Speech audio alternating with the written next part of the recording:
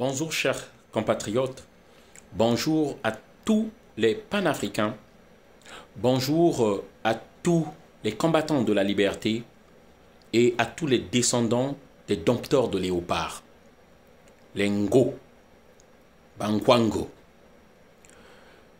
Je suis Donald, Imperator, l'homme du métro, la voix qui crie dans les métros parisiens afin d'éveiller les consciences, afin de dire aux citoyens français qu'il n'y a pas un sentiment anti-français, qu'il n'y a pas de problème entre les peuples, le peuple français et les peuples africains.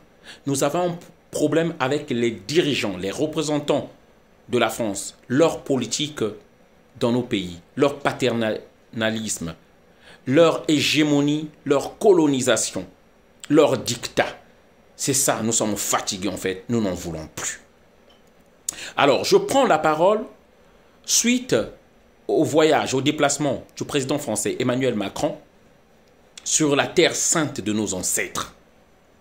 Tel le chef de plantation, tel le Boana, il descend dans le camp de concentration pour aller voir si ses contremaîtres ont bien fait le travail. Qui Emmanuel Macron ira voir? Il ira voir Ali Bongo, le fils du dictateur Omar Bongo, celui qui a tué les Gabonais en 2016 en faisant lever des hélicoptères de guerre comme s'ils avaient en face d'eux un pays envahisseur. Ils ont tiré sur le siège de Jean Ping en tuant des Gabonais sur leur sol, avec beaucoup de sang entre les mains. Nous disons bien qu'il part voir un handicapé la France continue de soutenir. Ce soir, il dort à Libreville. Qui sait le président français irait voir au Congo-Brazzaville Il part voir Denis Sassou Nguesso. Celui avec le soutien de la France, le 5 juin 1997, a organisé un coup d'État en tuant plus d'un million de Congolais, avec beaucoup de sang entre les mains et dans la conscience. Il part voir un dictateur qui a plusieurs prisonniers politiques, comme au Gabon. Jean-Marie Michel Mokoko, Okombi Salissa et beaucoup d'autres. Qui Emmanuel Macron ira voir? Il ira voir la marionnette de l'Occident, Tshisekedi. Alors que Emmanuel Macron soutient la politique des États-Unis qui arment le Rwanda pour faire une guerre par proxy aux Congolais qu'on tue. Plus de 15 millions de morts aujourd'hui. La tragédie du roi Léopold II se répète encore. Parce que nous savons que la France n'a jamais voté des sanctions contre le Rwanda. Comme elle a infligé des sanctions à la Russie. La France ne condamne pas l'invasion du Rwanda par le M23 parce que nous savons tous la vérité. C'est les États, c'est le Rwanda qui passe par le M23 pour envahir le Congo RDC. La France va encore chercher des contrats. Alors que elle est toujours là dans son hégémonie. Elle n'aime pas les peuples africains. Nous sommes fatigués de tout ça et de leur dictat. Nous sommes fatigués. Nous sommes cette génération-là qui ne croit plus encore dans un avenir avec euh, la politique française. Nous, sommes cette génération-là qui a compris. Nous savons que l'Occident ruse avec ses valeurs. Elle ne tient pas parole. Comme disaient les Indiens, le visage pâle à la langue fourchue. Ce sont des gens, vous pouvez vous donner une parole, signer des traités. Ils vous prennent par l'arrière. Ils viennent déchirer les traités, ils ne tiennent pas parole. Nous sommes cette génération-là que ne croyons plus avoir le pouvoir par la France. Parce que nous savons que dès que vous n'êtes pas d'accord, ils partent soutenir l'autre camp, l'opposition. Et vice-versa. Ce qui compte, c'est d'abord leurs intérêts. En oubliant que lorsqu'il y a un partenariat, les intérêts des deux côtés doivent compter.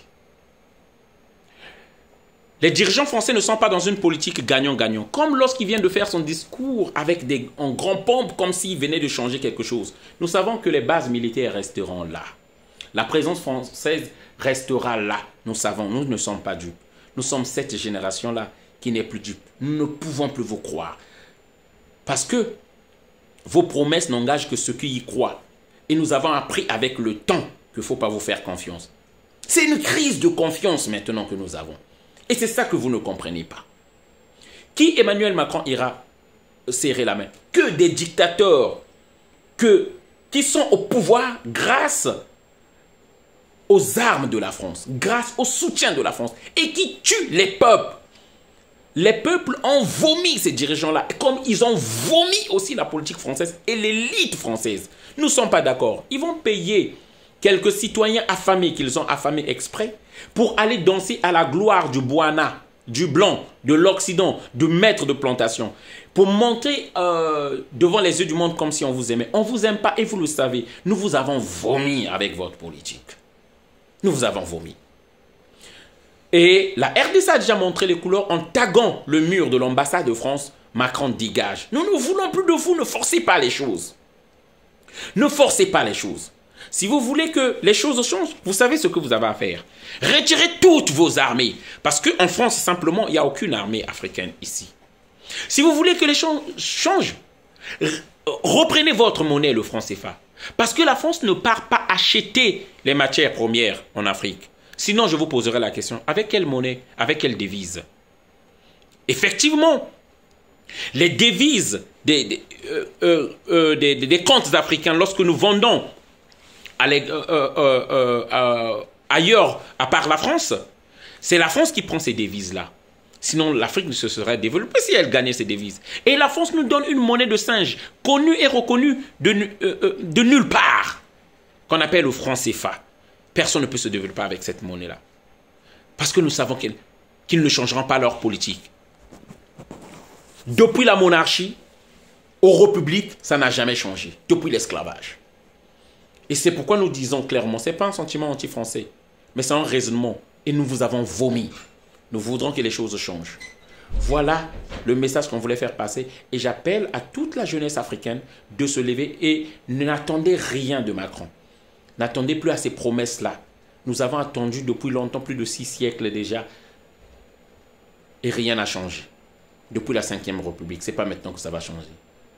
La lutte continue. Merci de partager la vidéo.